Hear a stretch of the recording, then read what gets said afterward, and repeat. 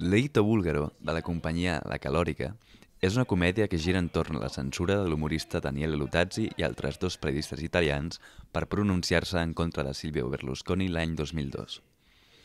Es tracta d'un espectacle de taquilla inversa, un nou concepte de retribució que permet pagar al públic aquella quantitat que li sembla adequada.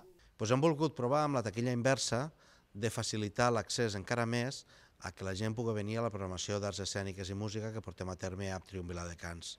La nostra voluntat és obrir portes, és cercar maneres que facin més fàcil el poder accedir a la nostra oferta. Amb l'Edito Búlgaro ja són dues les propostes amb les que s'ha pogut posar a prova aquest nou sistema.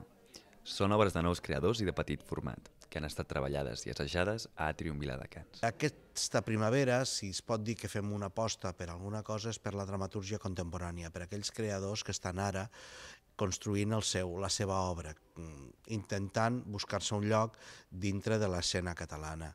Seguint aquesta aposta, al llarg de les properes setmanes, a Atrium Viladecans es podran veure, entre d'altres, obres com Stockman, de la companyia Les Antonietes, o Jo Mai, de la companyia Prisa Mata.